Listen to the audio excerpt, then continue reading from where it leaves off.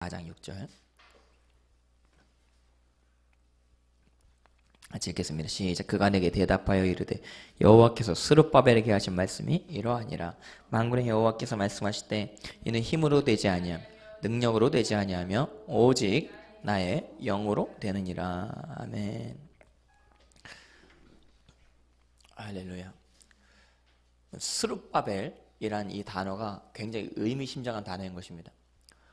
이스라엘 백성들이 죄를 지음으로 말미암아 하나님께서 바벨론의 손에 이스라엘 백성들을 넘겨주신 것입니다. 그래서 그 바벨론 휘하의 고통스러운 포로 생활을 하는데 근데 하나님께서 예레미야 선자를 통해서 하신 말씀이 있어요. 너희가 포로 기간이 있다. 포로 기간. 포로 기간은 정해져 있다. 끝이 있다.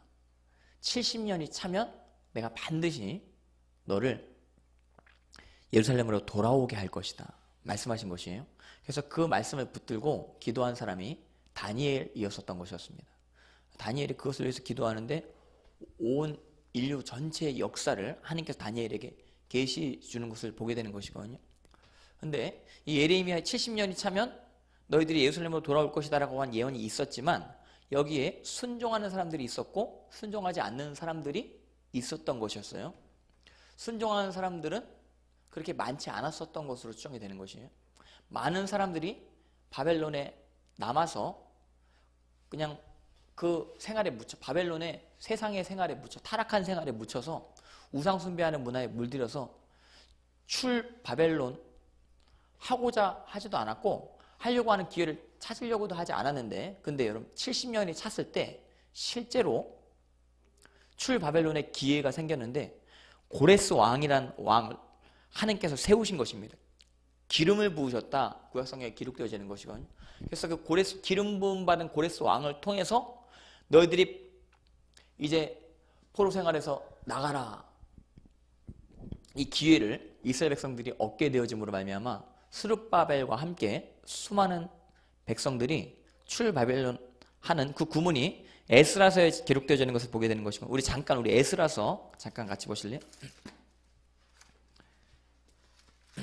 니 에스라 니에미아인 것입니다. 에스라 어 2장 2절 같이 보시겠습니다. 에스라 2장 2절. 에스라 2장 2절. 시작. 곧 스룹바벨과 예수아와 느에미아와 스라야와 리엘야와 모르드게와 빌산과 미스발과 비그에와 르흠과 바하나 등과 함께 나온 이스라엘 명수가 예, 이러하니 스룹바벨이 이스라엘 총독이 되어서 수많은 이스라엘 백성들을 이끌고 예루살렘으로 출 바벨론 하게 되는 것을 보게 되는 것입니다. 그리고 그 밑에 쭉 이제 명단이 나오죠. 출 바벨론 명단. 그러니까 이출 바벨론 하신 분의 명단은 굉장히 귀한 것, 귀한 분들이시라. 그래서 구체적으로 이렇게 명수까지 다 기록이 되어져 있는 것입니다. 어, 여러분들 그때가 옵니다. 실제 70년이 차면 천국 갈 날이 옵니다, 여러분. 70년이 차면 나라가 바뀔 때가 옵니다. 아멘. 70년이 차면 가정이 변화되어질 때가 옵니다. 70년이 차면 개인의 인생이 변화되어질 때가 옵니다. 이대로는 있지 않을 것이기 때문에 여러분들이 그 선택하셔야 됩니다. 약속의 말씀을 붙들고 진짜 출 바벨론 할 날을 기다리던가 아니면은 바벨론에 묻혀서 살든가 이 둘 중에 하나를 여러분들이 선택하셔야 돼요. 근데 바벨론에 묻혀서 사는 식으로 하면서 여기 에스라서 2장의 명단에 들지 못한 사람들은 참 불쌍한 사람들이라. 하나님의 영광을 체험하지 못한 사람들인 것이거든요. 그리고 여러분 스룹바벨이라는 이 뜻이 또 그 어떤 뜻이 있냐면 스룹이라는 이 단어가 불태우다 이런 뜻입니다. 불태우. 스룹바벨은 뭐냐면 바벨론을 불태우다 이런 뜻이에요. 요즘에 뭐 이게 나라냐 이러면서 촛불 들고 불태워 문 모시가 그랬대요. 어떤 계층 불태워 버려야 된다. 횃불을 들자. 뭐 이런 식으로 하는데 실제 어저께 뭐 횃불 들고 나왔다는 이야기가 있더라고요. 김진택 의원 사무실 그 근처에 몇백 명 애들이 횃불 들고 나와가지고 막 위협했다는 이야기가 있어요. 이거 횃불은요, 이거 위협이에요, 위협. 원래 서울 시내에 횃불 들고 다니면 이거 불법이라고 제가 알고 있는 것이고요. 근데 그거 허용하는 것입니다. 횃불 드는 거. 이게 그 야고보서에 보면요. 부자들한테 하는 경고가 있는데 부자들을 살라버린다 이렇게 기록되어져 있는 것을 보게 되는 것이에요. 어, 실제 그 어떤 가난한 가운데 억압을 계속 받고 있는 사람들이 나타나는 현상이 있는데 그 현상 중에 하나가 무엇이냐면 자기를 억압시키는 사람들을 불태워버리기 원하는 어떠한 그런 심, 심보가 있는 것이라. 그래서 항상 그 어떤 노동자 집회라든지 뭐 규탄 집회라든지 할 때 인형들을 막 불태우죠. 불태우. 그런 퍼포먼스를 왜 생, 생각을 해내는가? 그 퍼포먼스가 왜 게시가 되어지는가? 다른 거 퍼포먼스 할 게 많은데 왜 굳이 그 불태워버리려고 하는가? 실제 그 욕구가 그 안에 있기 때문에 그 인형이라도 그렇게 태워버리려고 하는 대리 만족을 얻기 원하는 어떤 그런 생각들이 있는 것입니다. 근데 여러분들 인형을 불태운다고 해서 그리고 어떤 권세자를 실제 불로 살한다 그래가지고 그 상황이 바뀔 것 같습니까? 지금 뭐 박근혜 대통령 하야 뭐 퇴진하는데 박근혜 대통령 퇴진하면 뭔가 좀 더 좋아질 것 같습니까? 절대 그런 거 없습니다. 더 좋아질 수 있는 방법은 무엇이냐? 때를 기다리는 것입니다. 때를 하나님 앞에 하나님께서 나라를 바꾸실 때가 있는 것이거든요. 그 때가 되기 전까지는 나를 안 바꾸십니다. 그래서 그때를 기다리기 위해서는 반드시 기억하세요. 출 바벨론을 예비하고 있어야 된다고 하는. 세상과 단절된 삶, 그리고 하나님께로 향해 나아가는 삶, 여러분들 예비되어져야 된다고 하는 사실 기억하시기를 주님의 이름으로 축복합니다. 수룹바벨, 바벨을 태워버리는 자인 것입니다. 바벨을 태워. 바벨론은 세상입니다. 악한 세상입니다. 근데 예수님께서 세상을 사랑하사 독생자를 주셨죠. 그 예수님께서 사랑하신 세상, 악한 세상이란 말이에요. 악한 세상이기 때문에 당신의 죽음으로써 그 피로써 이 땅 가운데 그 악한 세상에서 우리를 건져내 주시기 위해서 세상을 사랑하셨다. 요한복음 3장에 그렇게 기록되어져 있는 것입니다. 그래서 요한복음 3장에서는 예수님의 말씀, 예수님의 진리 가운데 나오는 자가 예수님의 십자가를 경험할 수 있다라고 하는 사실을 이야기하고 있는 것을 보게 되는 것이거든요. 그 하나님께서 만드신 세상은 아름다우신 세상입니다. 근데 인간의 타락함으로 말미암아 하나님께서 이 세상을 심판하신 것이었어요. 근데 이 땅을 심판하실 때 전부 심판하지 아니하셨습니다. 반드시 기억하세요. 세상과 타협하지 아니하고 하나님의 길을 걸어가고자 하는 사람들은 구원시키셨는데 그 중에 대표적인 인물이 노아인 것입니다. 그리고 노아의 가족들. 노아와 노아의 가족들은 하나님께서 그 노아의 눈에서 사랑을 발견한 것이라. 노아의 눈에 있는 어떤 하나님을 향한 신실함을 발견한 것이라. 그 원어로 보면 그렇게 기록되어 있어요. 눈에서 노아는 그 하나님의 눈에서 은총을 발견하였더라. 이렇게 기록되어지는 것이거든요. 그러니까 하나님과 눈을 마주칠 수 있는 사람, 하나님과 눈으로 교제할 수 있는 자가 노아였었던 것이었습니다. 이건 뭐냐면 친밀함인 것이에요. 친밀함. 사랑하는 사람이랑 계속 여러분 눈을 마주치면 서로 친밀해지게 되는 것이고 친해지게 되는 것입니다. 예. 어, 근데 노아와 하나님은 굉장히 친밀한 관계였었던 것이었어요. 그렇기 때문에 하나님께서 노아에게 방주를 만들라 명령하셨고 방주를 만들라 명령하신 것에 순종하는 것은 뭐냐면 출 바벨론 준비하는 것이에요. 이제 세상 악하고 음란한 세대 가운데서 벗어나기를 준비하는 것입니다. 노아의 때는 어떤 때였냐? 어, 네피림의 때였었던 것이었습니다. 네피림의 때, 네피림이 어, 성경에 자이언트라고 기록되어져 있는 것이거든요. 이 자이언트, 거인의 문화가 왜 그때 만연했었는가? 왜냐하면 남자와 여자의 타락함이었었던 것이었습니다. 남자들이 여자들을 하나님의 아들들이 여자들을 자기 마음대로 취하기 원했었다. 이렇게 창세기 6장에 기록되어져 있는 것을 보게 되는 것이에요. 그러니까 성적으로 물란한 세대가 창세기 6장의 시대였었던 것이었습니다. 노아의 때. 이때 노아는 하나님의 거룩한 가운데 구별되어지는 삶을 사는 가운데 수많은 사람들이 성적인 물란한 가운데 더 나은 삶을 위해서 난잡한 어떤 성관계 가운데 우, 우열, 우열을 가리면서 사람들을 판단하는 그런 분위기가 있었던 것 같아요.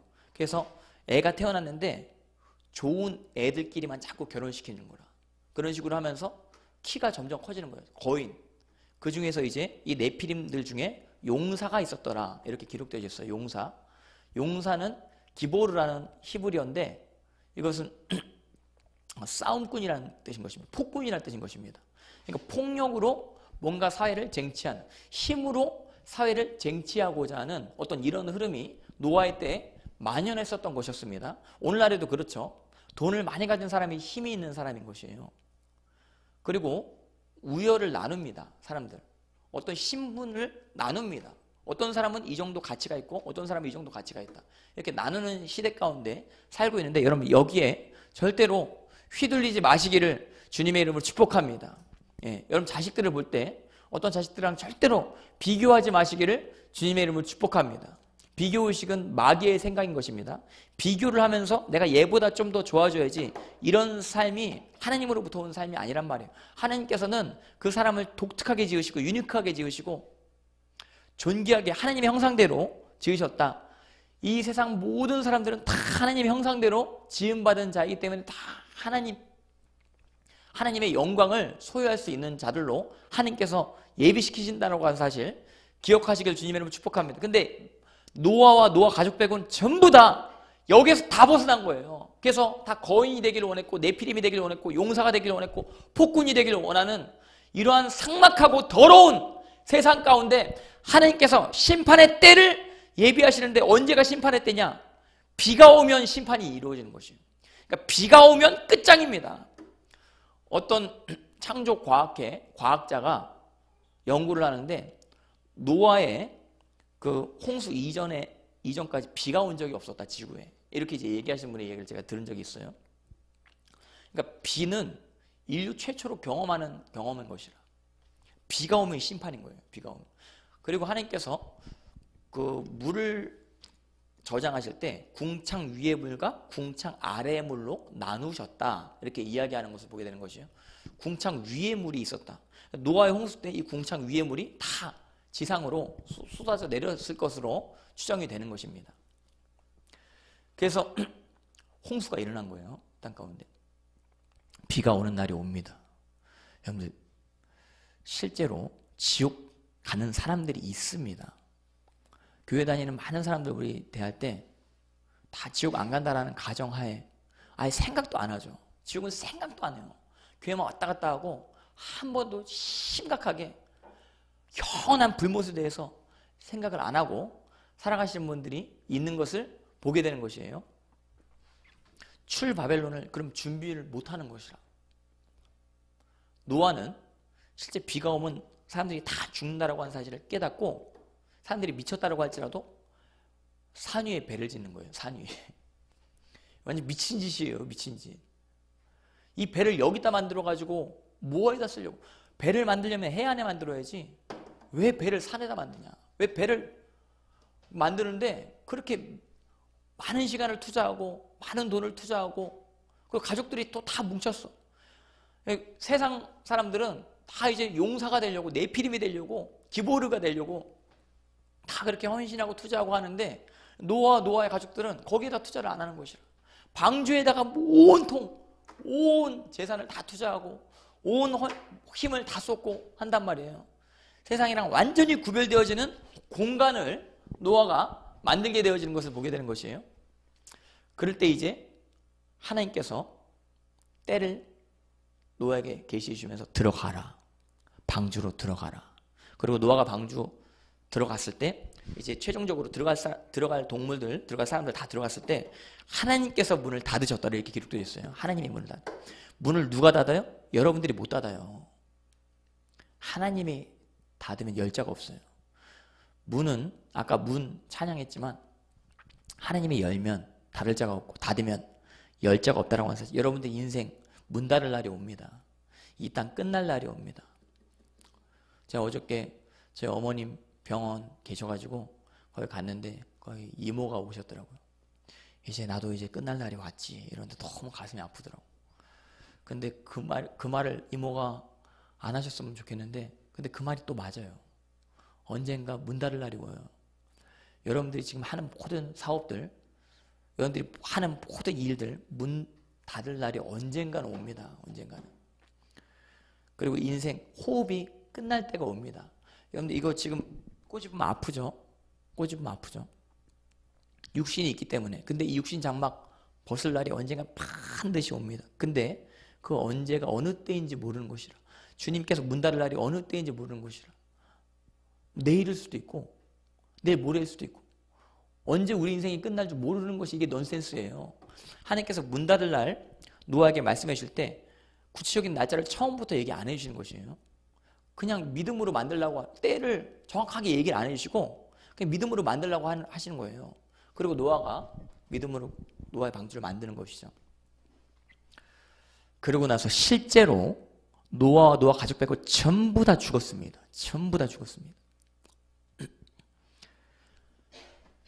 노아는 구원의 감격에 겨워서 이제 방주에서 나와서 하나님 앞에 번제로서 예배를 드릴 때 그 노아의 예배를 하나님께서 받으시고 그 흠양하셔서 은총을 베푸시는데 그게 이제 무지개인 것이죠. 무지개.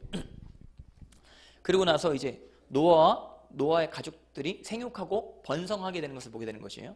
그 노아와 노아 가족들에게 하나님께서 제 헌신, 제 명령을 하시는데 그것이 무엇이냐면 너희는 생육하고 번성하고 땅에 충만하라. 이게 창세기 초반에도 기록되어 있거든요. 아담과 하와에도 그렇게 말씀하셨는데 노아에게도 다시 그렇게 생육하고 번성하라. 땅에 충만하라. 다시 제 명령, 제 위임을 노아에게 하시는 것을 보게 되는 것이에요. 그래서 노아 노아 가족들이 애를 엄청나게 많이 낳게 된 것입니다. 그러면서 이제 모이면 안 되는 것이에요. 하나님께서 뭐라 그러셨어요? 흩어지라고 하셨어요. 정복하라고 하셨어요. 땅을 개척하라고 하신 것입니다. 그래서 동쪽으로 사람들이 점점 점점 이제 지경을 넓혀 나가게 되는 것을 보게 되는 것이에요. 하나님의 명령에 순종해서 노아가 방주가 머물렀었던 산이 아라라 산이라고 성경에 기록되어 있죠. 실제 터키 아라라산 똑이 지금도 똑같습니다. 지명이 아라라 산이 있어요. 노아의 방주를 발견했다라고 하는 그 썰들이 지금 굉장히 많이 돌아다니는 것을 보게 되는 것이거든요. 그 아라라산이 높은 산이라서 만년설이 덮은 산이란 말이에요. 근데 만년설이 조금 없어지는 때가 있는데 그래서 노아의 방주가 보인다. 이렇게 유튜브에 쳐보시면 나옵니다. 실제 거기 갔다 오신 분들도 있습니다. 노아의 방주 안에 들어가신 분들도 있어요. 촬영 촬영해가지고 그것을 보여주신 분들이 있어요. 근데 그걸 믿고 그런데 그거는 믿을 만한 게 못 될 수도 있는데 아무튼 아라라산 터키입니다. 터키 지역 중심으로 동쪽으로 계속 이제 이동하는 것이에요. 동쪽으로 이동하는데 터키 지역이 굉장히 험준합니다. 험난합니다. 지역이. 산들이 굉장히 높은 산들이 많이 있는 것을 보게 되는 것이에요. 근데 이제 동쪽으로 계속 이제 험준한 지역을 뚫고 뚫고 가다가 평지를 딱 발견한 것이다. 평지. 할렐루야. 평지에다가 거기에 강도 있어요. 강도. 고대 시대에 강이랑 평지를 차지하려고 그 엄청난 쟁탈전, 전쟁들이 많이 일어났었던 것이었고 그 지역이 굉장히 비옥한 거점이 될 수 있기 때문에 평지를 딱 발견한 것이라. 동쪽으로 근데 가려고 그러는데 평지에서 동쪽으로 좀 더 가면 이제 인도가 나오는데 거기 네팔 근처에 뭐가 있어요? 높은 산이 있어요. 높은 산. 에베레스트 산맥 산맥이 있단 말이에요. 거기를 어떻게 정복을 해? 거기를 어떻게? 근데 거기 건너기 전에 평지가 딱 있는 거랑 시날 평지예요. 시날 평지. 우리 거기 못 건너. 우리 네팔 거기 지역 못 건너. 그 네팔 지역 세계 최고 산, 산들이 다 거기 밀집되어져 있어요. 거기를 건너면 이제 중국인데 중국 지역인데 거기 건너기 싫다 이래가지고 이제 모이기 시작하는 것입니다. 우리끼리 평지에서 살자 우리. 평지에서 살려면 어떻게 살아야 되느냐? 아파트를 짓고 살아야 된단 말이에요. 탑을 짓고 살아야 된단 말이에요. 땅을 개인적으로 소유를 못하기 때문에 그 층을 이제 져야 된단 말이에요. 좁은 지역에 많이 살 수 있는 방법이 아파트인 것입니다. 아파트. 바벨탑은 뭐예요? 아파트 문화예요. 아파트 문화. 근데 이 문화가 발달했어요. 점점 모여 살다 보니까 그때 이제 역 역청을 통해서 시멘트를 막 개발하는 어떤 이러한 건축 기술이 발달한 것이라 그 고대 시대에. 그래서 한번 우리 잠깐 같이 보실래요? 그 건축 기술에 대해서 실제로 그 기록하고 있는 것을 보게 되는 것이에요. 창세기 11장 같이 보시겠습니다. 11장 3절.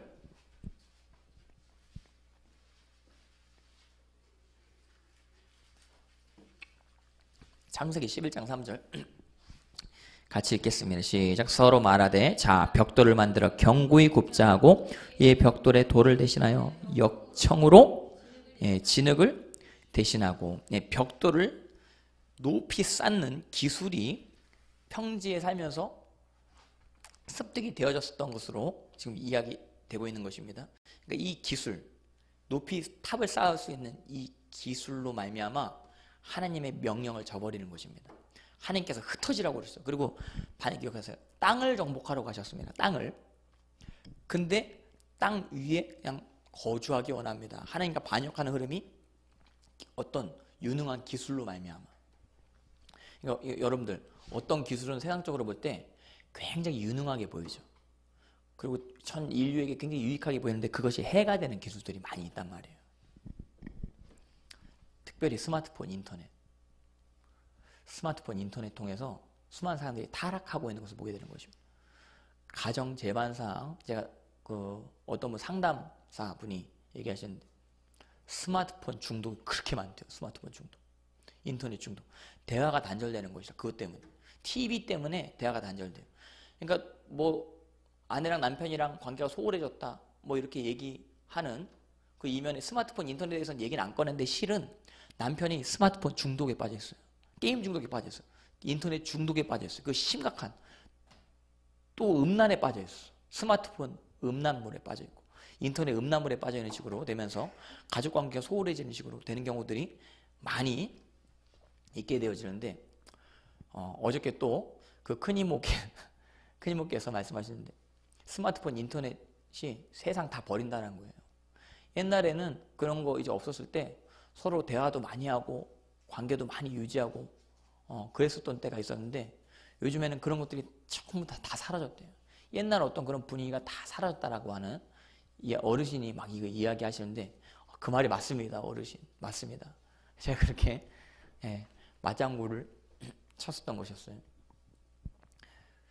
어떤 기술은 굉장히 윤택하게 보이는데 그것이 오히려 사람들을 악으로 치닫게 만드는 기술들이 있는 것입니다. 스마트폰 인터넷이 마귀의 귀신, 마귀의 손이다 이런 식으로 하면서 누가 그림을 그렸는데 그게 1등을 했다라고 해요. 그래서 그 그림, 그 마귀의 손, 스마트폰 인터넷이 마귀의 손이다 이 그림이 당첨 그 1등 돼가지고 돈 많이 벌었다라는 이야기를 어 제가 막 들었는데 그 실제 맞습니다. 어떻게 보면 스마트폰 인터넷이 우리를 악으로 치닫게 만드는 근거가 될 수 있는 것입니다. 그리고 어, 지금 줄기세포 연구를 계속하는 것이죠. 인간의 줄기세포 배아를 새롭게 창조하는 식으로 이렇게 만드는데 이게 하나님 나라의 불법이란 말이에요. 남자와 여자가 합하여 한 몸을 이루고 아, 이를 낳아서 생육하고 번성하 이것이 하나님 뜻이란 말이에요. 근데 줄기세포를 가지고 어떤 사람을 새롭게 이제 만든 다음에 그래서 그 사람의 막 장기를 막 떼내는 식으로 실제 그런 연구가 하버드 대학교에서 이루어진다라고 하는 기사를 읽어본 적이 있는 것입니다. 이런 것들이 뭐냐면 바벨탑이란 말이에요. 바벨탑. 인간을 오래 살게 해주고 윤택하게 해주고 한다라고 하는데 하나님을 반역하게 하는 흐름. 이그 벽돌을 높이 점점 쌓을 때는 좋죠. 그리고 웅장하게 보이고 하늘을 닿을 때, 야 이제는 됐다 이렇게 됐을 때 어떻게 하세요? 하나님께서 내려오십니다. 우리 창세기 11장 같이 보시겠습니다. 창세기 11장 7절 시작. 자 우리가 내려가서 거기서 그들의 언어를 혼잡하게 하여 그들이 서로 알아듣지 예, 못하게 하자. 하나님께서 내려가셔서 혼돈 바벨이란 뜻이 혼돈이란 뜻이에요. 섞다 이런 뜻인 것입니다. 원래 언어가 하나였는데 언어를 하나님께서 섞어버리시는 혼란을 허용하시는 것을 보게 되는 것입니다. 점점 여러분들 그러니까 이 땅 말세가 되면 될수록 혼돈의 시대, 혼란의 시대가 찾아온다라고 여러분 보셔야 되는 것이에요. 예수님께서 마태복음에 마지막 때에 불법이 성행한다 이렇게 기록되어 있죠. 불법이라는 단어가 헬라어로 아놈이라는 단어예요. 아놈이라는 단어는 불법이 아니에요. 원래는 불법이 아니라 무법이라는 뜻입니다. 무법, 법이 아예 없는 상태. 사사 시대랑 똑같은 시대가 마태복음 24장의 시대란 말이에요. 사사 시대는 어떤 시대냐? 자기가 옳으면 옳다. 자기 소견에 옳은 대로 행하는 시대가 사사 시대인 것입니다. 오늘날의 시대가 어떤 시대예요? 사사 시대. 그러니까 사사 시대는 여러분 민주주의 시대입니다. 내가 옳다 하면 그 오르면서 표를 던지는 시대가 오늘날의 시대일 수 있는 것이에요. 오늘 민주주의의 시대 가운데 민주주의의 사상에 물들면 안 됩니다. 여러분 회개하라. 천국이 가까웠느니라. 할렐루야. 천국은 하나님 나라인 것입니다. 예수 그리스도를 왕으로 삼는 나라에 여러분들이 예속되어줘야지 다른 어떤 인간을 우대하는 그런 어떤 시스템 가운데 여러분들 사상이 오염되어지면 절대로 회개 못합니다. 많은 사람들이 옳다라고 하면 그대로 표를 던지는 시대. 그리고 자, 그것을 또 자기가 옳다라고 막 끝까지 주장하면서 자기가 원하는 스승들을 많이 삼는 자기 욕구를 충족시켜 주려고 하는 스승을 또 둬요. 스승을. 어떤 사람이 그렇게 이야기했다라고 한 썰을 자, 풀면서 자기 자신의 욕구를 충족시키려고 하는 개인 만족의 시대가 마지막 때인 것입니다. 바벨탑의 시대란 말이에요. 바벨탑의 시대 가운데 어, 이 혼돈 가운데 흩어지게 하나님께서 하시는 것을 보게 되는 것이요. 우리 창세기 11장 9절 같이 보시겠습니다. 창세기 11장 9절. 그러므로 그 이름을 바벨이라 하니 이는 여호와께서 거기서 온 땅의 언어를 혼잡하게 하셨습니다. 여호와께서 거기서 그들을 온 지면에 흩으셨더라. 아멘. 결국엔 그래서 혼돈 가운데 하나님의 뜻이 이루어질 수 있다라고 하는 사실 기억하시길 주님의 이름으로 축복합니다. 이 바벨론이 바벨론이 흩어졌음에도 불구하고 그 시나이 평지에 남아 있는 사람들이 있었어요. 그래서 끝까지 어떤 바벨탑을 옹호하고자 하는 사람들이 제국을 유지해 나가는 것을 보게 되는 것이 왜냐하면 거기는 물이 있었고 평지가 그대로 있었기 때문에 그래서 그 가운데 이제 살면서 대제국을 어, 이루는 이 제국이 어디까지 가냐면 아수르 제국을 점령하는 데까지 가게 되는 것입니다. 어, 이스라엘 그 동방 동방 지역을 점령한 큰 첫 번째 제국이 아수르 제국인 것입니다. 아수르 아수르 제국은 엄청나게 컸어요. 그리고 굉장히 포악하고 잔인무도한 그런 군인들을 가지고 있었던 제국이 아수르 제국이었었던 것이라. 그래서 이스라엘 백성들 포로로 끌, 끌어갈 때 갈고리를 혀에 꿰가지고 혀에 꿰가지고 그리고 막 질질질 끌, 끌고 다녔다고 해요. 그 아수 아주 잔인무도한 제국이었었던 것이라. 그러니까 이 아수르 제국 가운데 회개를 선포하라 하나님께서 요나한테 말씀하시니까 요나 요나가 나는 가기 싫습니다. 난 거긴 진짜 가기 싫습니다. 이러면서 니느웨로 가라 그러는데 정반대 다 다시스 스페인 쪽으로 가는 것을 보게 되는 것이에요. 동쪽으로 가라 그랬는데 서쪽으로 그러니까 너무 잔인무도하게 자기 민족을 막 학살하던 그러니까 우리나라로 치면 일본이 일본이랑 똑같아요. 일본이랑 일본보다 더해 아수르 제국. 그런데 이런 제국을 하나님께서 심판하신다. 선지자를 통해서 하나님께서 명령 어, 예언하게 되었었던 것을 보게 되는 것이에요. 아수르 제국 반드시 망한다. 나움 나움서라는 소선지서가 있는데 나움서가 뭐냐면 아수르 제국 망한다 이거예요. 뭐를 통해서 망하냐? 바벨론을 통해서 망한다. 바벨론이 동쪽에서부터 아수르 제국을 장악하게 되는 것을 보게 되는 것이에요. 아수르 제국을 장악했었을 때 다른 여러 나라들이 벌벌벌벌 떱니다. 벌벌벌 떨어. 이스라엘도 벌벌벌 어. 유다가 바벨론 가운데 벌벌벌벌 떱니다. 아수르를 이긴 바벨론 누가 이기랴 누가 이기랴 이런 식으로 하면서 벌벌벌벌 떠는 가운데 그때 이제 유다 땅 가운데 두 파가 나뉘어지게 되는 것을 보게 되는 것이에요. 유다 땅 가운데 바벨론에게 항복할 것이냐 아니면은 애굽을 의지해서 그때 당시 애굽도 강대국이었던 것이었거든요. 애굽을 의지해서 바벨론과 맞짱 뜰 것이냐 하는데 어떤 거짓 선자가 나타나서 이야기를 하는데 하나님께서 예루살렘은 영원할 것이다 말씀하신다. 절대로 바벨론에게 붙지 말고 애굽에게 붙어라. 바벨론에게 붙으면 그때부터 이제 우리의 믿음은 끝이다. 이런 식으로 이야기하는 거짓 선자가 나타난 것이에요. 그래서 바벨론에게 붙지 않으면 우리 가운데 평화가 있을 것이다. 평화, 평화, 평화 이야기하는데 예레미야 선제가 뭐라 그러냐? 바벨론에게 항복하라 이야기하는 것이죠. 바벨론은 하나님의 몽둥이다. 뭐가 중요하냐? 유다 땅 너희들이 회개하는 것이 중요하다. 회개하는 것.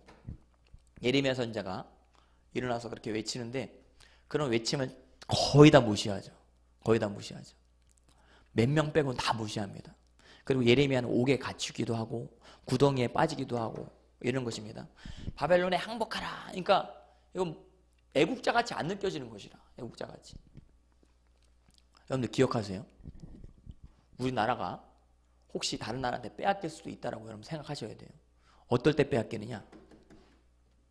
회개를 안 하면 빼앗깁니다. 우상 숭배를 회개 안 하면 빼앗길 수 있습니다.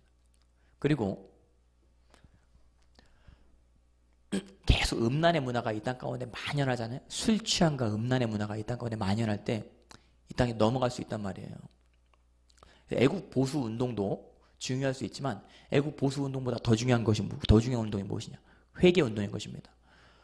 횃불 드는 것도 뭐 그들 나름대로 뭐 가치가 있다라고 하, 면서 횃불을 들 수 있지만 횃불 드는 것보다 더 중요한 게 뭐냐면 스룹 바벨 할렐루야. 세상에서 나와야 돼요. 성령의 불로 여러분들의 세상적인 모든 생각들이 깨끗하게 정결하게 태움받아야 된다고 하는 사실 기억하시길 주님이라고 축복합니다. 예레미야가 회개하라. 성전에 있는 너희들부터 회개해야 된다. 이야기하는 것이요. 예레미야서 우리 잠깐 같이 보시겠습니다. 예레미야서 6장 같이 잠깐 보실래요?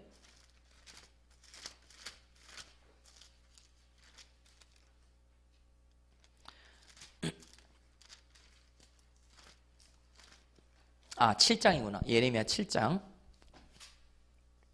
2절, 3절. 이 메시지를 잘 들으시길 주님의 이름으로 축복합니다. 이 메시지를 듣는 사람이 나라를 살립니다. 그리고 하나님의 약속의 말씀을 받게 되는 것입니다. 7장 2절 3절 같이 읽겠습니다. 7장 2절 3절 시작 너는 여호와의 집 문에 서서 이 말을 선포하여 이르기를 여호와께서 예배하러 이 문으로 들어가는 유다 사람들아 여호와의 말씀을 들으라 3절 만군의 여호와 이스라엘의 하나님께서 이와 같이 말씀하시되 너희 길과 행위를 바르게 하라 그리하면 내가 너희로 이곳에 살게 하리라. 이 나라에 여러분들 살기 위해서는 뭐 어떻게 해야 돼요? 길과 행위를 바르게 하라. 행위란 단어가 you are doing. 너의 길이란 뜻이에요. 너의 길. 너의 행동. 소유격이 붙어 있는 것이에요. 나 자신의 행동. 성전에 단체적으로 온다라고 해서 구원받느냐? No. 그런 것이 아니라 구원은 개인적으로 받는다라고 하는 사실 반드시 기억하시길 주님으로 축복합니다. 여러분들 행위를 바꿔야 됩니다. 음란함에서 여러분들 바꿔야 됩니다. 여러분들 행위를. 돈을 좋아하는 데서 여러분들의 행위를 바꿔야 된다고 하는 사실 기억하시길 주님으로 축복합니다. 용서하셔야 됩니다. 가족 구성은 다 용서하셔야 됩니다. 그리고 사랑하시려고 하셔야 됩니다. 원수까지도 사랑하시려고 하셔야 됩니다. 예수님 믿는 자들이 이런 태도를 버릴 때부터 재앙이 시작되는 것입니다. 부모님을 공경해야 됩니다. 마태복음 15장 예수님 말씀처럼 말로만 하지 말고 그리고 그 종교 지도자들한테 예수님 강력하게 책망하시는 것이 무엇이냐? 고르반 하면서 왜 부모님 섬기지 않느냐? 고르반. 고르반이 뭐냐면 이거 종교 의식이란 말이에요. 고르반 하면서 뭐 물건을 딱 찍어 놓으면 이건 부모님도 못 건드려.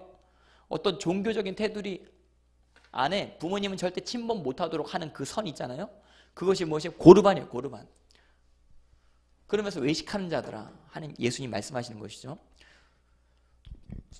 교회 법이 있어요.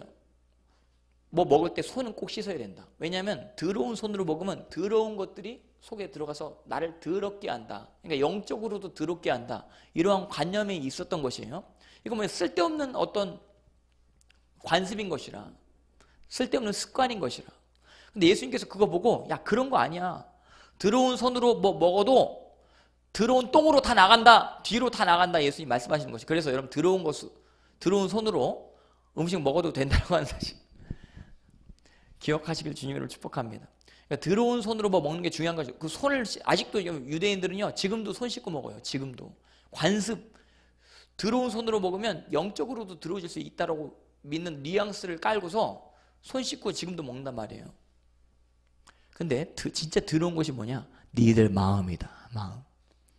음란하고 추악하고 미워하고 살인하려고 하고 부모님을 거역하려고 수근수근하려고 그러고 이런 어떤 마음이 마음에서부터 나오는 말이 다른 사람을 더럽게 한다. 예수님께서 말씀하시는 것을 보게 되는 것이에요. 교회는 다니는 것이에요. 종교 지도자인 것이에요. 바리새인들이.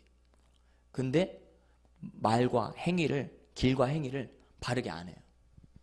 그때 어떻게 되냐면 예수님께서 마태복음 23장 선포하는 것이에요.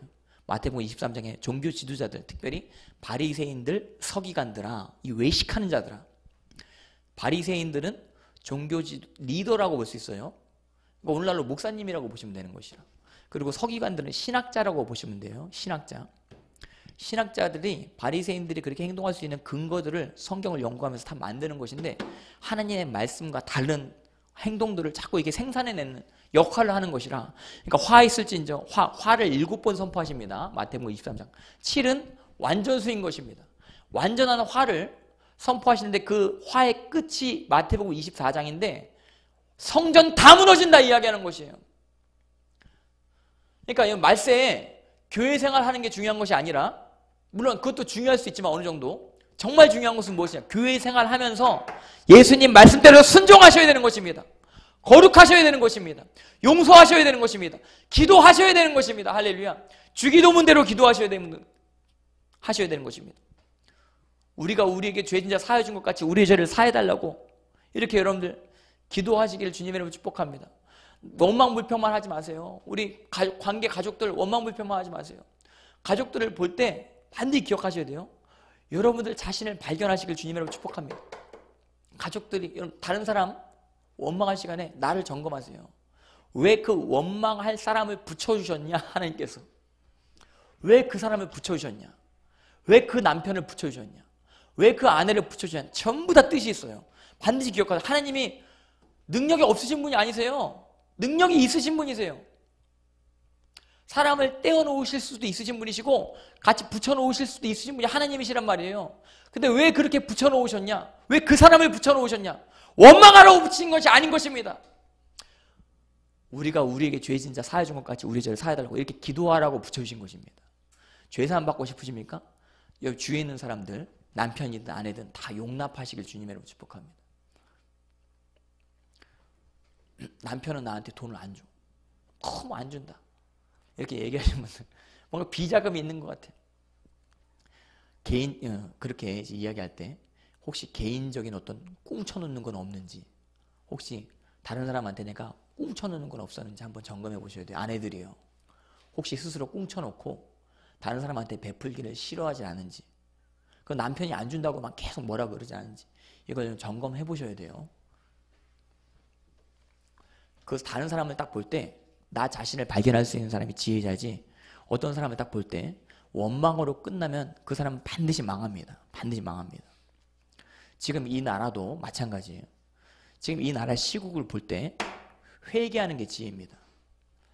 회개하려고 하는 태도를 일말의 건덕지도 가지지 않고 판단하죠. 심판하는 대로 심판당할 것이다. 마태복음 7장에 예수님께서 말씀하시는 것이에요. 그 우리나라 성경에 판단으로 번역을 했는데 그 크리노라는 헬라어인데 그게 심판으로 번역되어져야 더 올바른 번역이 될 수 있는 번역이에요. 그러니까 표준 세 번역은 실제 심판으로 번역을 했어요. 심판당 심판하면 네가 그대로 심판당한다.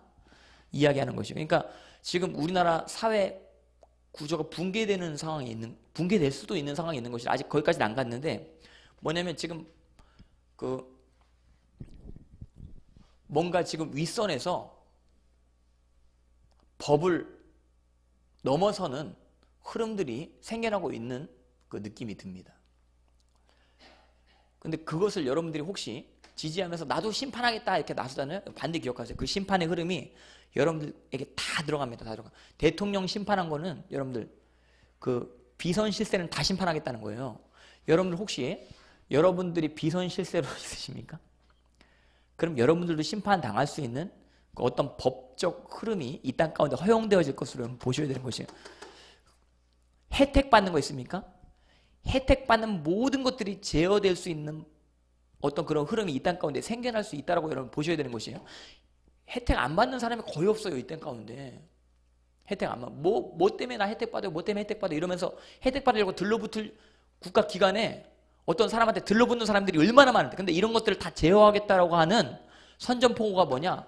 지금 대통령부터 시작하는 거예요. 대통령. 대통령 심판하는데 다른 사람이 심판 못 하겠습니까? 심판하는 대로 심판 당합니다. 반드시. 그래서 심판하는 것보다 더 먼저 선행되어야 될 것이 무엇이냐? 마태복음 6장처럼 돈 좋아하는 거 회개하셔야 되는 것입니다. 할렐루야. 예. 이거를 회개를 안 하고 자기가 심판하겠다. 그러니까 좌파가 위험한 게 뭐냐면 좌파가 다 그런 건 아닌데 위험한 게 뭐냐? 회개는 안 하고 부자들 돈만 다 끌어당기려고 그런단 말이에요. 어떻게 해서든지 그 공권력을 사용해가지고 끌어당기려고 하면서 실권을 또 잡습니다. 실권을. 조폭이랑 다른 게 없어요. 조폭이랑. 좌, 극좌 애들이 조폭이랑 다른 게 없어요. 조폭들도요. 돈을 끌어당기려고 그래요. 부자를 돈을. 돈 가진 사람 돈을 끌어당기려고 한단 말이에요. 폭력으로서. 그래가지고 자기네들끼리 또 나눠요. 나눠요. 강력한 어떤 카리스마가 생깁니다. 그 안에. 돈을 빼앗은 다음에 나누면 강력한 카리스마가 생기면서 어떤 위대한 리더가 생긴단 말이에요. 조폭대장. 조폭대장. 양은이. 양은이한테 양은이파와 싸웠, 싸웠다는 어떤 목사님 저한테 막, 막 얘기하시더라고요. 예. 노숙자 사역 하시는 분인데 예. 양은이랑 막 싸우고 막 그러는데 또 친해졌대요. 그러면 그런 식으로 하는데 그 무섭습니다. 그 목사님이요. 노숙자 사역하는데 노숙자 사역이 얼마나 비리가 많은지 아십니까? 그 목사님이 저한테 노숙자 사역하시는 목사님이 저한테 이야기하는 이야기가 뭐냐면 내가 지금까지 평생 후회하는 거 하나가 있다. 그분이 거의 70대 중반이세요. 인생 거의 거의 끝에 오신 것이라. 그러면 평생 내가 후회하는 게 뭐냐면 노숙자 사역, 노숙자 애들 밥 먹여 주려고 센터 세운 거. 나 그거 평생 후회한다. 평생. 복지를 그분이 다 하신 거예요. 그 서울시에 몇십억을 끌어 당기셔가지고 그 센터를 만든 거예요. 노숙자들이 열광했죠. 열광했죠. 목사님 최고입니다 이러면서 열광했는데 그러면서 교회 다 떠나. 교회 다 떠나. 교회 안 가. 교회 안 와. 예배 드리려고 안 와. 왜냐면 거기 가면 다 먹여주거든. 그 센터 가면.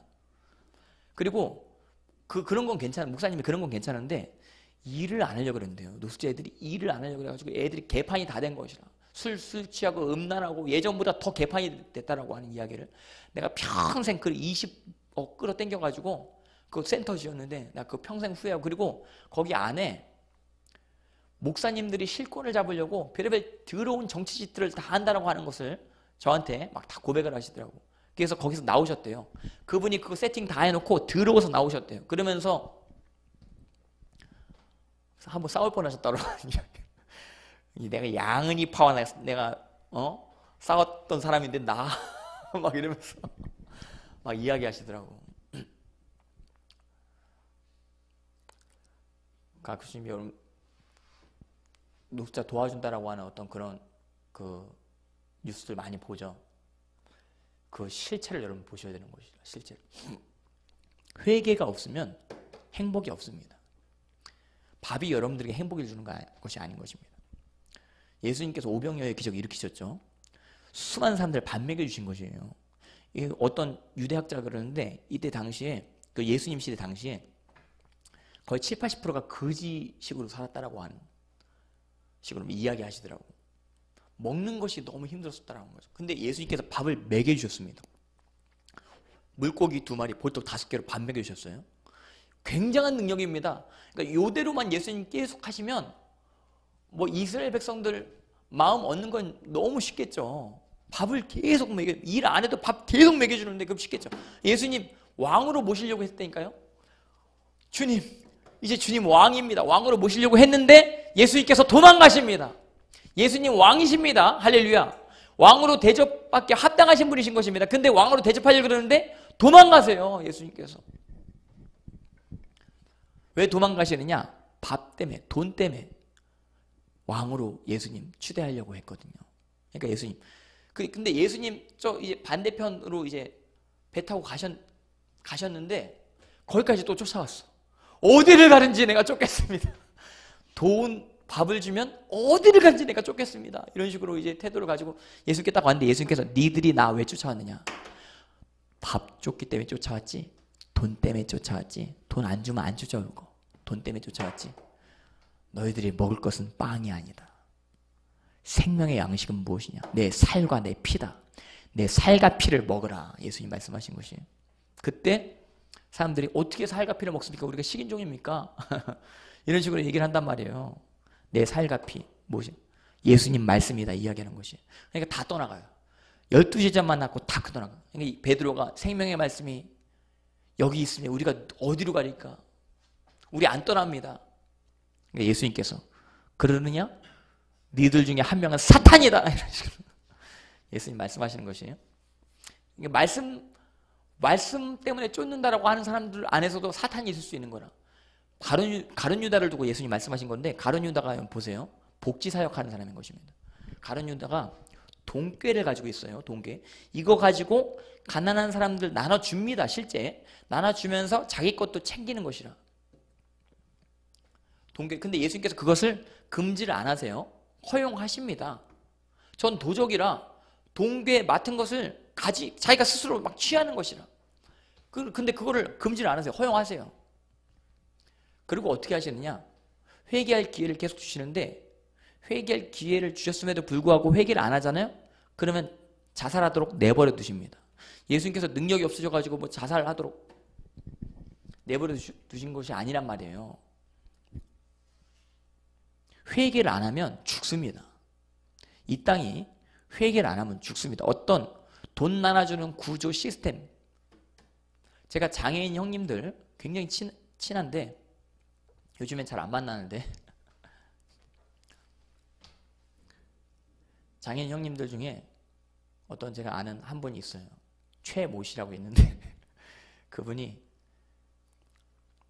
장애인 단체에서 일해요. 근데 그 비리를 저한테 다 얘기하는 것이라.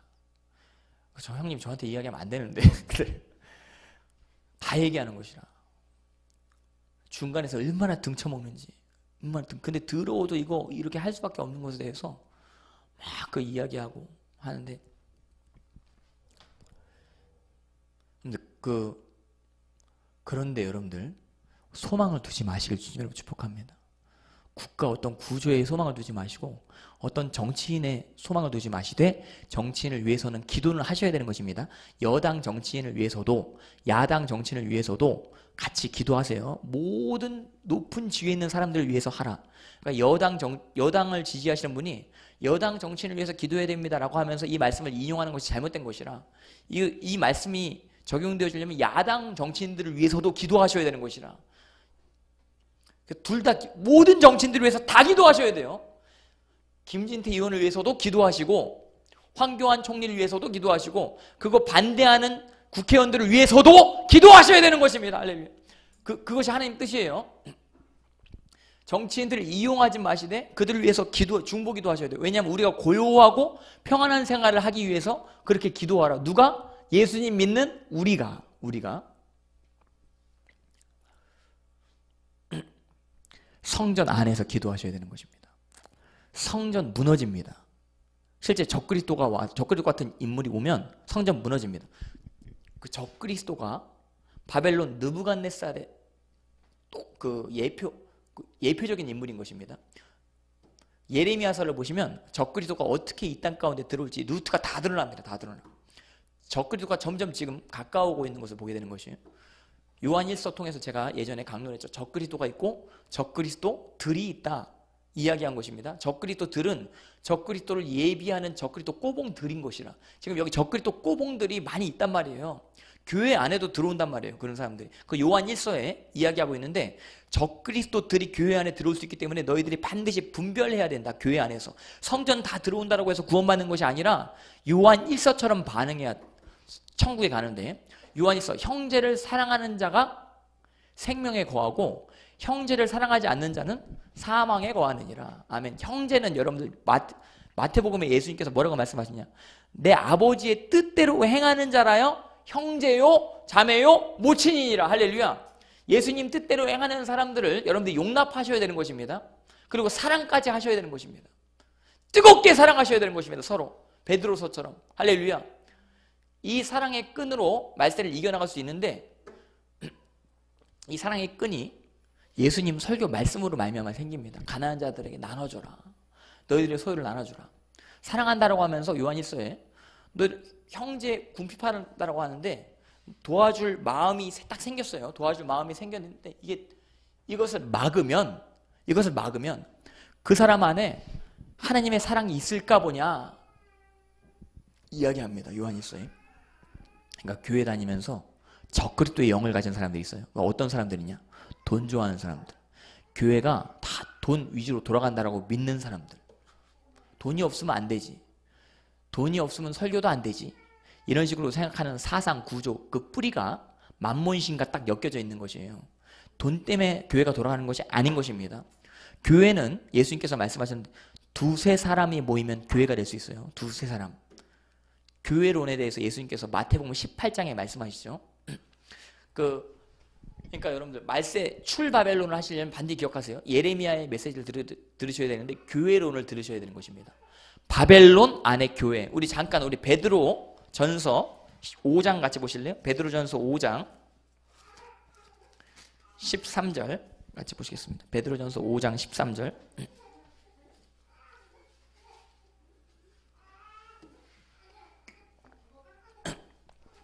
베드로전서 5장 13절 같이 읽겠습니다. 시작. 택하심을 받은 바벨론에 있는 교회가 너희에게 무난하고 내 아들 마가도 무난하느니라. 네, 바벨론에 있는 뭐예요? 교회입니다. 교회. 예. 바벨론 왕국이 세워진 한가운데 교회가 있는데 이 교회가 출 바벨론 역할을 하게 하는 매개체가 되는 것입니다. 아, 마태복음 18장 우리 같이 보실래? 마태복음 18장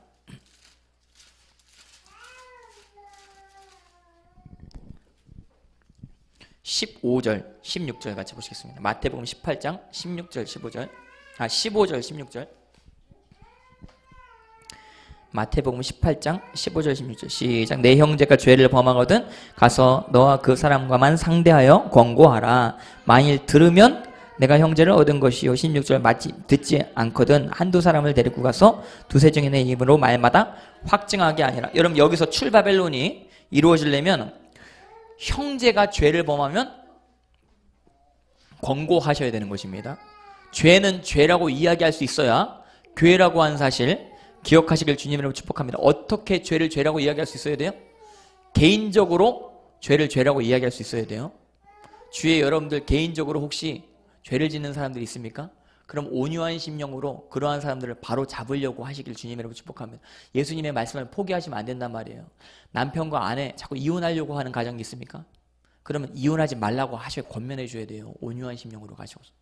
혹시 부모님께 공경 안 하고 순종 안 하려고 하는 애들이 있습니까? 그럼 부모님 공경하라고 애들한테 개인적으로 가서 이야기를 해 주셔야 돼요. 네. 남편한테 순종 안 하는 아내가 있습니까? 남편한테 순종하라고 이야기하셔야 돼요. 왜냐하면 신랑 교회의 신랑이 예수님인데 예수님을 신랑으로 삼으셨어. 예수님께 순종해야지. 근데 그 관계가 가족이랑 연결되어지는 것에 대해서 에베소서에서 이야기하는 것이거든요. 그렇기 때문에 남편한테 순종하십시오. 남편이 원하, 원, 원하지 아니하는 것은 대화를 통해서 풀어 나가시면서 결국엔 남편의 권위를 인정해 주는 식으로 하는 이렇게 교회 안에서 개인적으로 권면이 안 되잖아요. 그냥 단체적으로 왔다 가다 가지고 교회가 아니란 말이에요. 이런 것들이 개인적으로 권면이 안 되면 한번 우리 같이 보실래요? 마태복음 18장 또 17절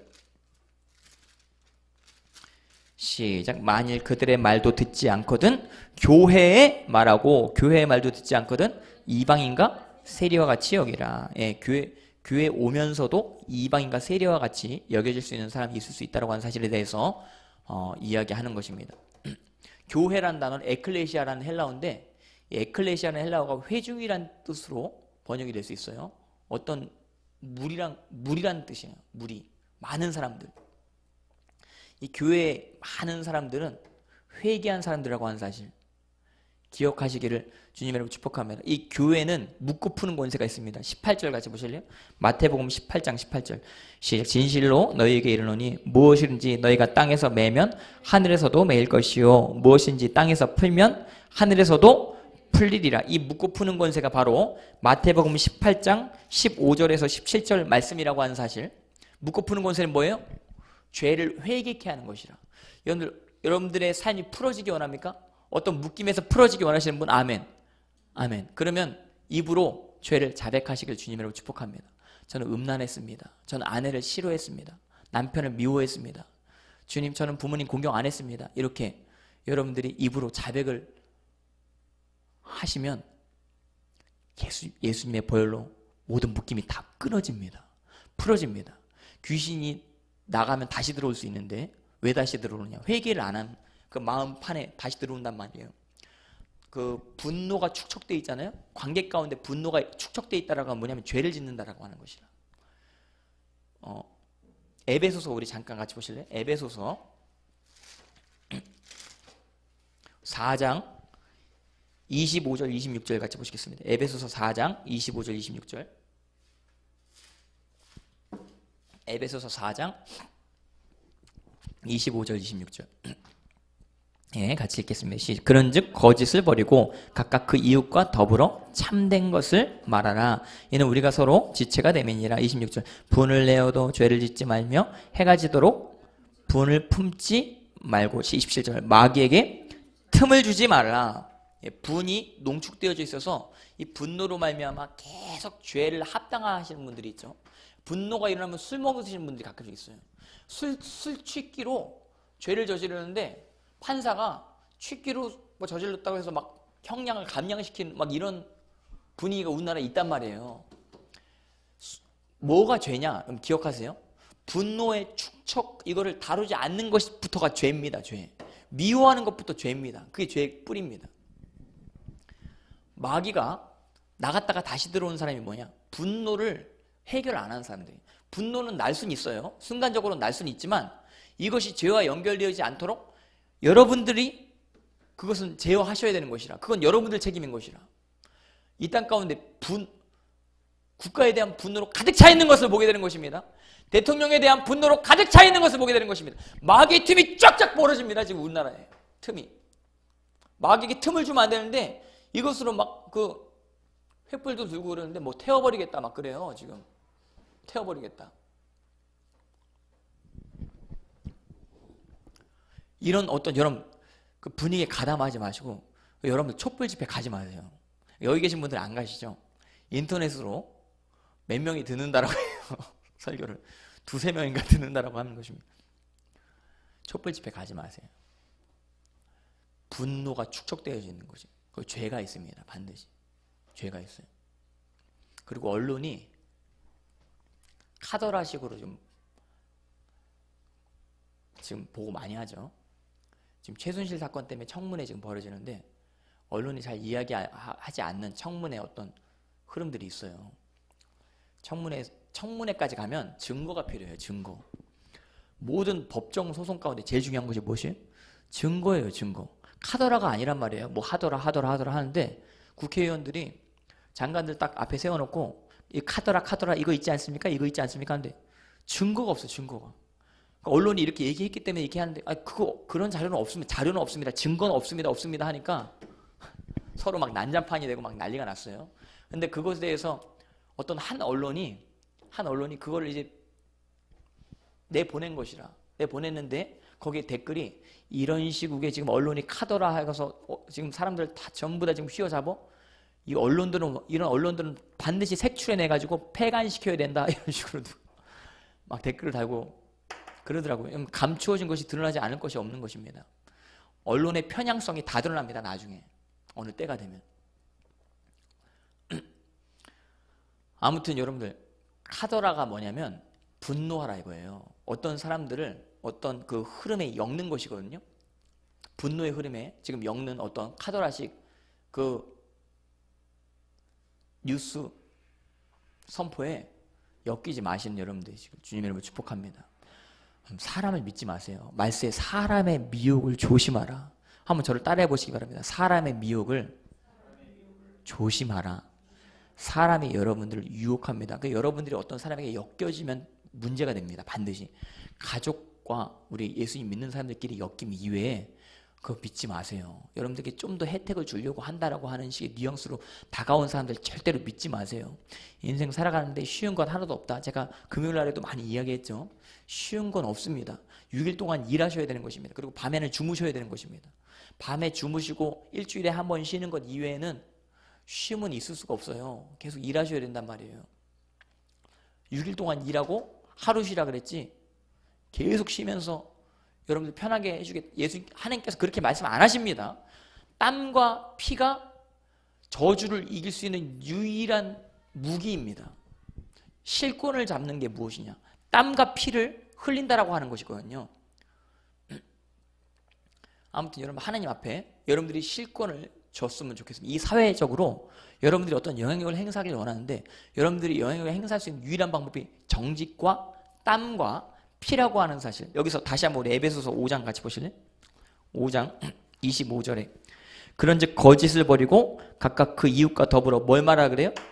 참된 것을 말하라. 정직하라 이야기하는 것입니다. 참된 것이란 단어가 ἀλήθεια라는 단어인데 이게 진리란 뜻이에요. Truth. ἀλήθεια라는 단어가 요한복음에 나옵니다. 요한복음에 내가 곧 길이요 진리요 생명이니 나로 말미암지 않고는 아버지께로 올 자가 없느니라. 요한복음 1장에 예수님께서 참이다 이렇게 이야기하는 것이죠. 이 참이라는 단어가 ἀλήθεια라는 단어인데 이건 뭐냐면 오늘날로 팩트라고 해석하시면 돼요. 팩트. 여러분들 예수님은 팩트입니다. 믿으십니까? 예수님 부활은 팩트입니다. 실제 그리고 우리와 함께 계십니다. 성령님 통해서 우리 안에 말씀해 주십니다. 이거 팩트입니다. 근데 이걸 무시해요? 실제 이걸 무시해요? 그럼 화인 맞은 양심이 됩니다. 여러분들이 팩트를 자꾸 무시하잖아요? 동성애자 팩트가 있어요. 수명이 줄어요, 동성애자들이.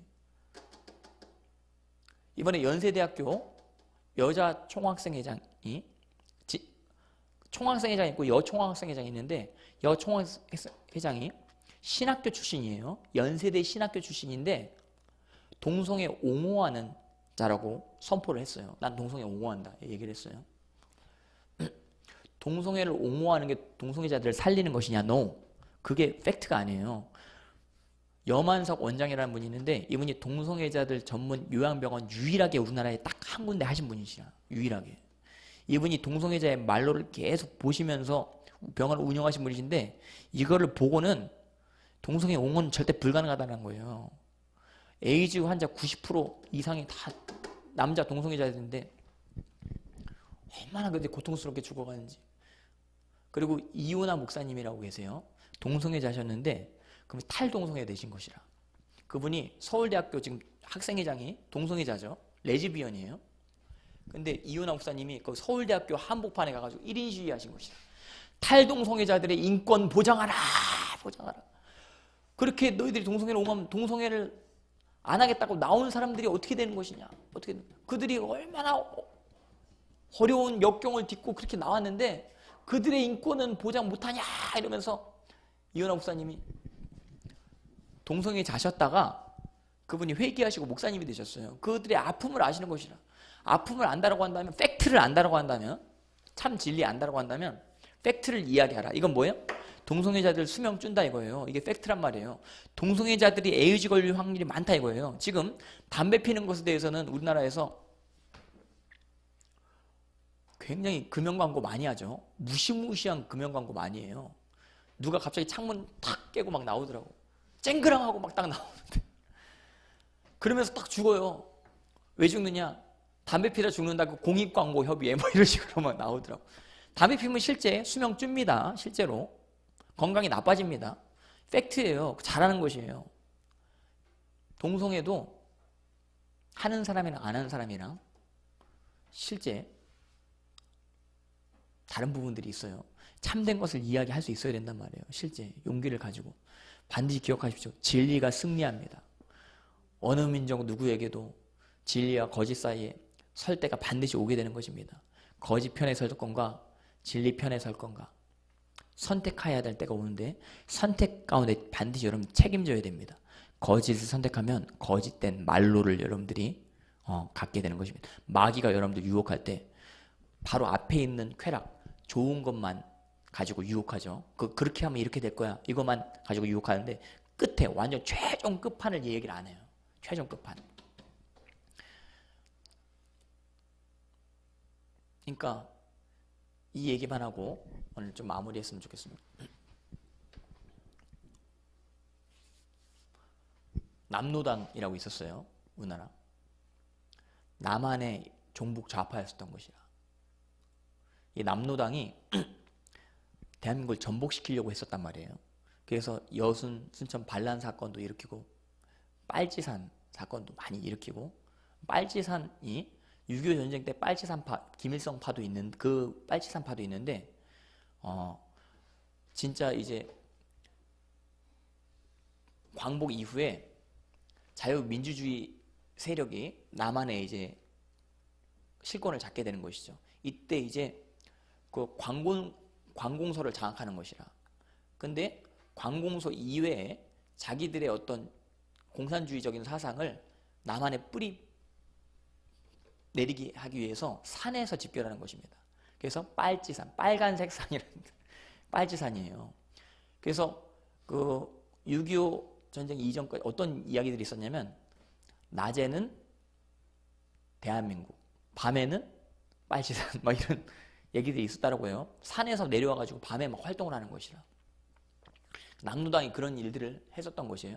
근데 6.25 전쟁 끝나고 그 남한에 있었던 대부분 공산주의자들이 북한으로 다 가게 되는 것을 보게 되는 것이에요.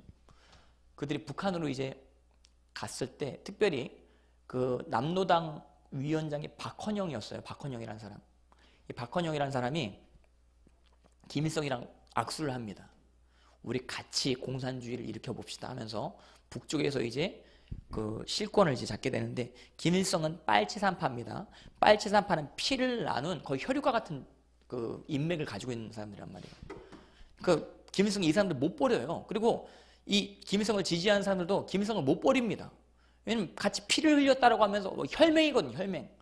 근데 남노당은 그 빨치산 정도까지 혈맹 정도까지는 아니란 말이에요. 그러니까 점점 이 세력이 나눠집니다. 그래서 김일성이 결국에는 권력이 두 개일 수 없다 이래서 그 박헌영을 죽입니다. 간첩이다.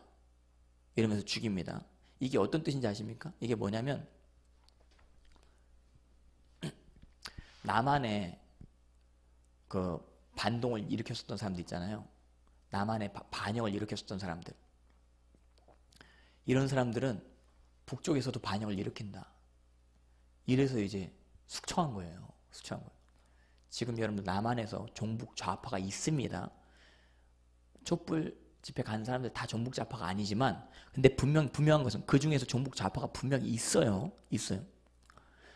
이런 사람들이 연방제 통일을 외칩니다. 연방제. 북한이랑 하나 되자 하는데 연방제 해서 만약에 북한이 실권을 잡게 되잖아요.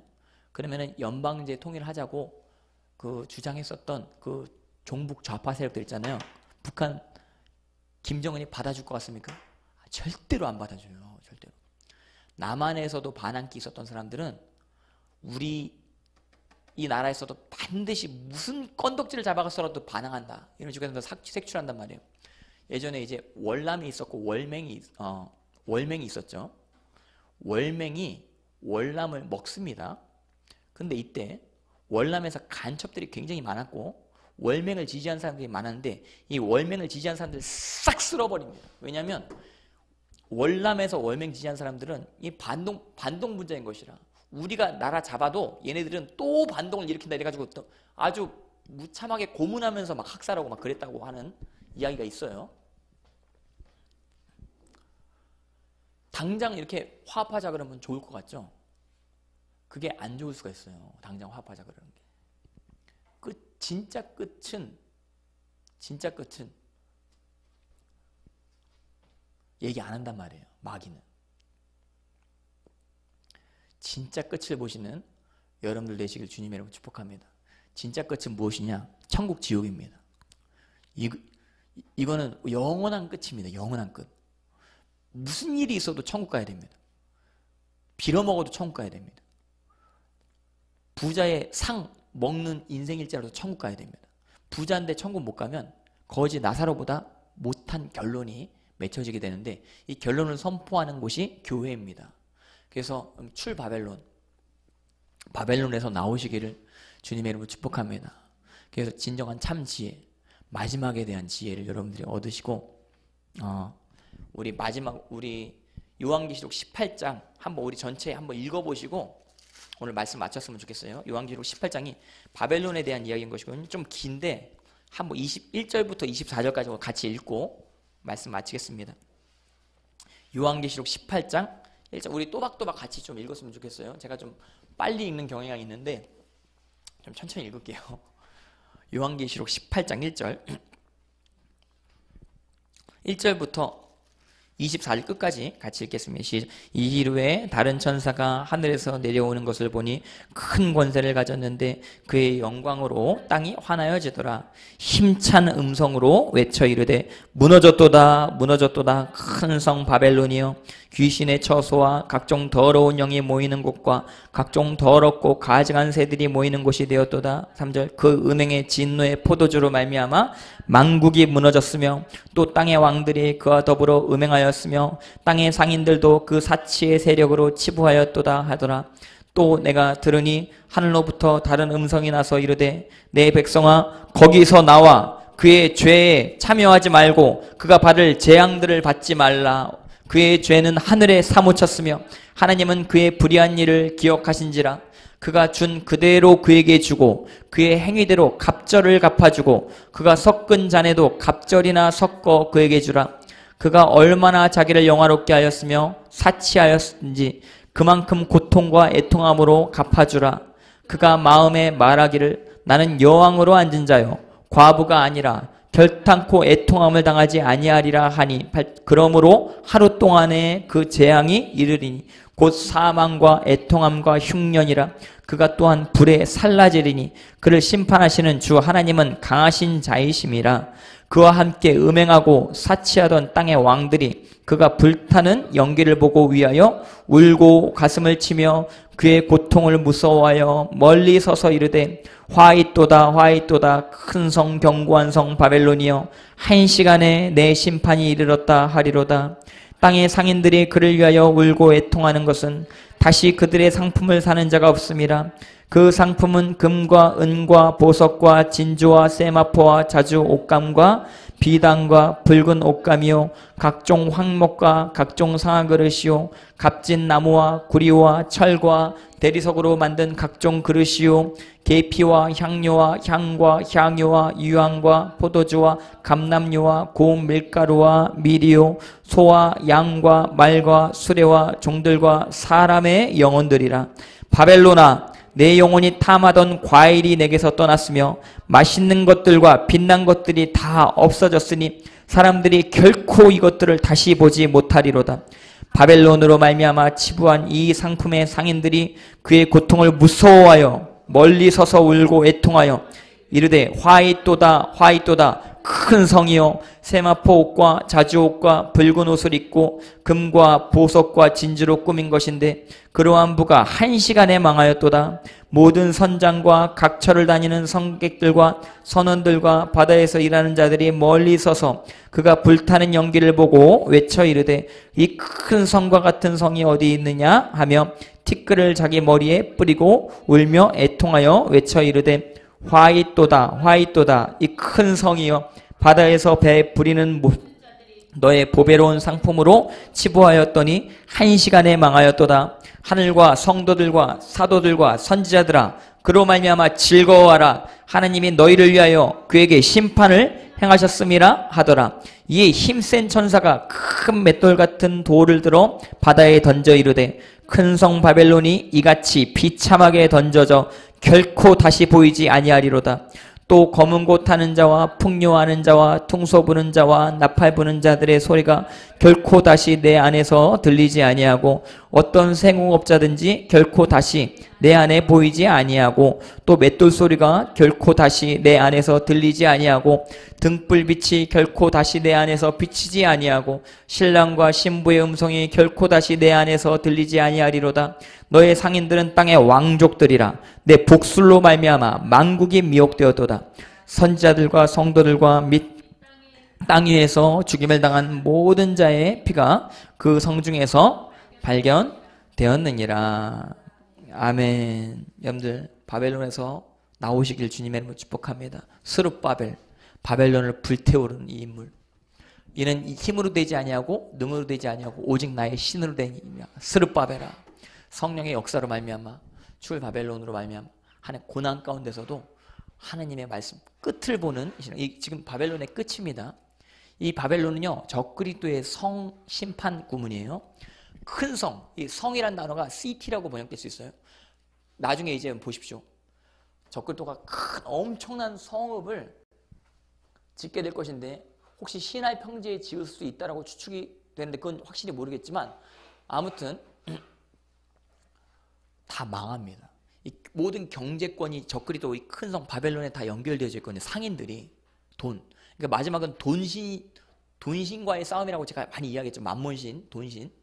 그래서 이 성이 다 무너져서 여기에 연결되어져 있는 모든 경제 어, 구조들이 다 파괴됩니다. 그게 심판입니다. 하나님의 심판. 이 심판이 가까이 오고 있을 수 있, 는 것입니다. 이 땅 가운데. 여기서 수르바벨과 같이 출애굽하셔서 이 에스라서의 2장에 기록되어 있는 그 명단들 있잖아요. 김권삼, 소년랑, 황제, 그리고 또 황모, 이동, 그리고 예, 허, 땡 이렇게 하나님 나라에